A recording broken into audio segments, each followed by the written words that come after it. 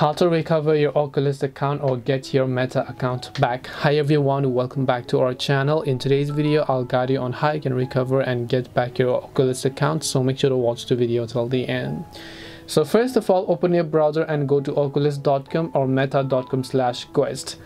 Depending upon wherever you want to go, it will just redirect you to this one page over here. When you're on this page, just click the profile looking icon from the top right hand side of the screen and then go to this option called sign up or log into meta account. Once you click on the sign up or log into meta account, over here, if you don't remember your email and so on, and if your meta is actually linked with your Oculus, you can choose to log in with your Facebook or Instagram account if you'd like because that is one of the easy options.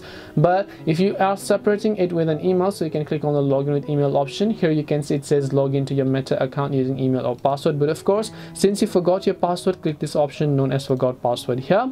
Then it will ask you to simply enter an email address that you would like to use. So go ahead and make sure to enter your email address. Click the find account button. It's going to send a verification link to that email address. So you want to make sure to log into that email address. And once you log into that email address you'll be able to go ahead and basically verify verify it. It will take you to the new page where you can simply enter a new password without having to remember your old password.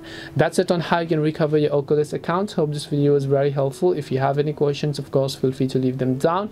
Thank you for watching and see you in the next video